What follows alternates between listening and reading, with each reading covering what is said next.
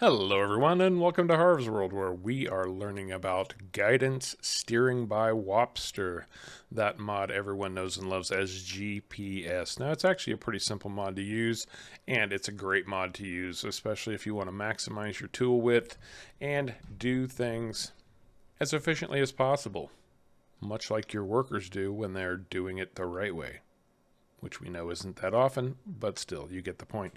Anyway, GPS is a very, very popular mod. I know a lot of people use it, but we've always got new players coming in all the time, and I love the new players because they keep this game moving forward. So, what do we do? Well, once you've got GPS installed, how do you get it? Well, that's pretty simple. go to the store, and when you purchase your tractor, any tractor will do, we'll just use this first John Deere right here, you will notice in the options that you have a global positioning system, $15,000, and you can add that to pretty much any vehicle you come across.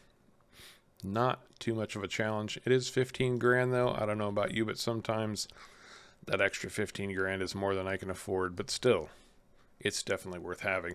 You can also upgrade any tractor already on your farm and just add GPS to it for 15 grand. So that's how you get GPS on your vehicle. Now, once you have it on your vehicle, what are you going to do?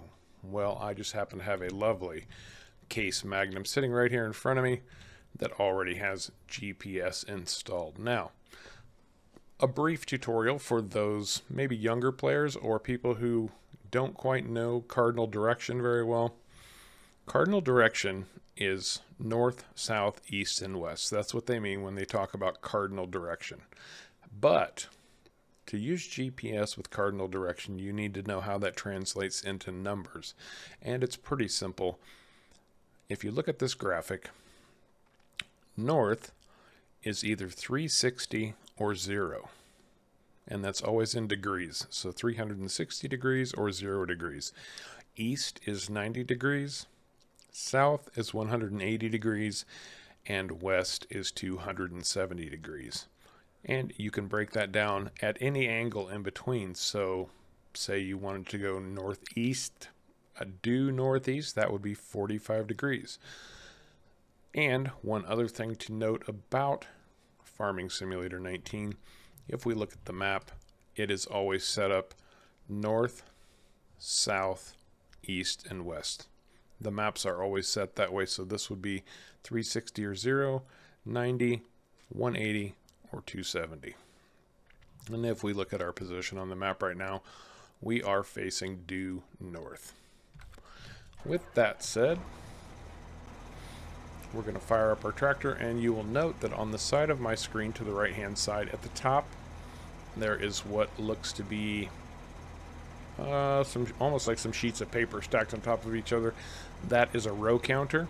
The next one down is kind of a, a satellite beacon it's it's an activation, and the bottom one is steering. Right now, that steering is telling us that we are pointing at 357.6 degrees. So we are not perfectly aligned due north, but we're close enough for government work because GPS is going to sort that out for us. Now, how do we get this working? Well, you're going to hold left alt and hit C, and you'll notice that the satellite icon on the right side of the screen turns green. Now we have GPS active.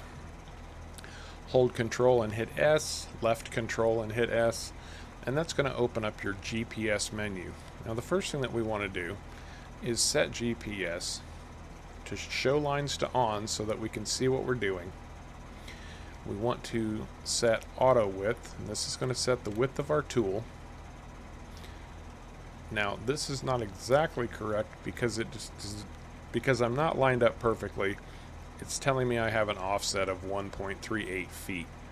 I'm going to adjust that offset to 0 feet like so.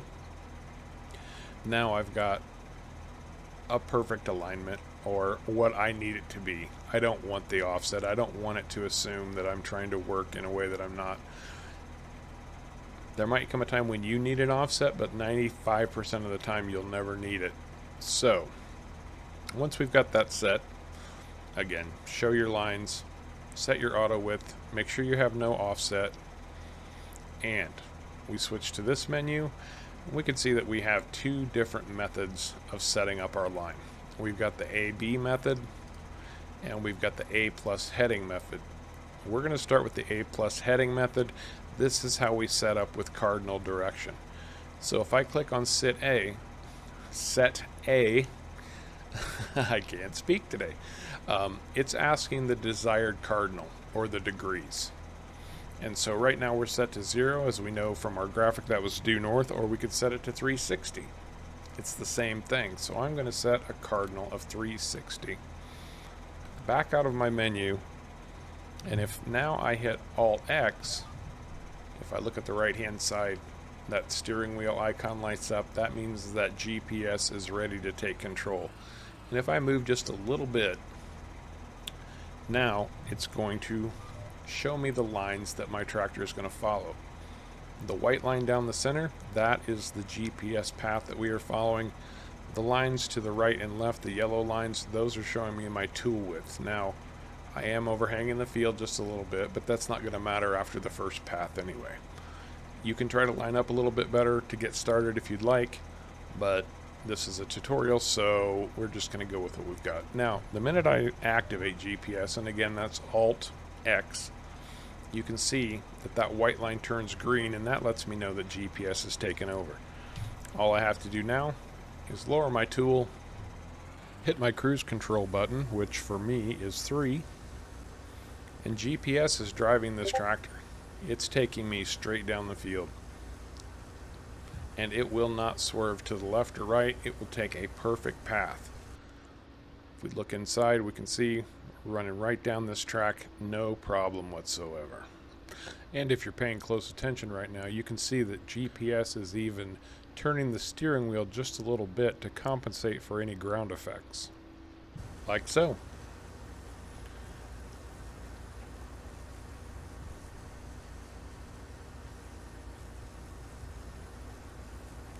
Now, as we come down to the end of the field, what else do you need to know at this point? Well, GPS is active when you're ready to turn it off. All you need to do is steer.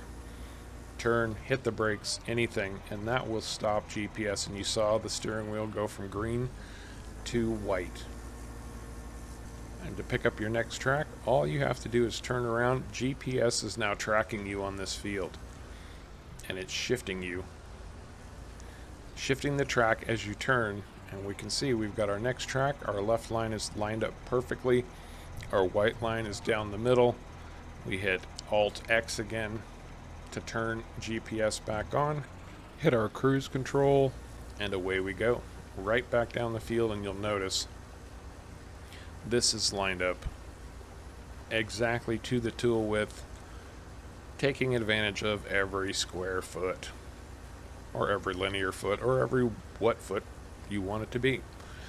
Now you also notice on the top right, or on the right side of my screen, that top button or top display, that is a counter. And that's telling you how far from your first pass you are. So we are on plus 1. Now, you're going to say, well, not every field is lined up perfectly north, south, east, or west. And God knows that's absolutely true. So we're going to shut down GPS here. And I picked this field for a reason. And I'll tell you why. Because the other end of this field is not set up north, south, east, or west. It's set up at a different angle a slightly different angle, but still not perfect. So, when I can't use cardinal, what do I do? Well, GPS has you covered. And we're going to get just lined up right here on the edge. So, we can set up for this little bit of an angle also, and how we're going to do that is, well, I'm going to activate GPS, holding Alt, hitting C, I'm going to open my menu and make sure that snap terrain angle is still off. My width is still good. It's the same width we used on the other end. But now I need to set this. We were at A plus heading. Now we need the A plus B line method. So I'm going to set A And you can see right there that right below my tractor there's a little green letter A. Going to drop down my tool and I'm going to start down this field on my own. You don't have to go far. I'll stop about right there, open my menu again, and hit Set B. Close the menu, and now we can see. GPS has picked up on the direction that we want to go, and it's set a perfect line down for us. So again, all we have to do is hit X now to act, or Alt X, I'm sorry, to activate GPS again, and we start autopilot and her autopilot. we get our cruise control and down the field we go.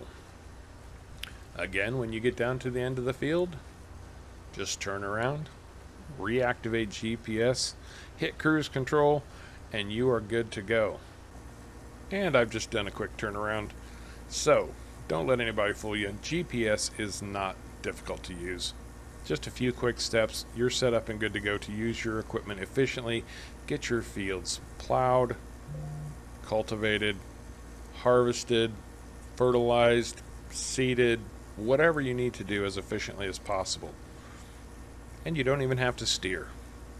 So, if you found this video useful, helpful, or entertaining, do me a favor. Remember to hit the like and subscribe buttons down below. I've got many other tutorials, let's plays, and tips on my YouTube channel, so check those out too. I appreciate you coming along for this tutorial on GPS. And until next time, take care.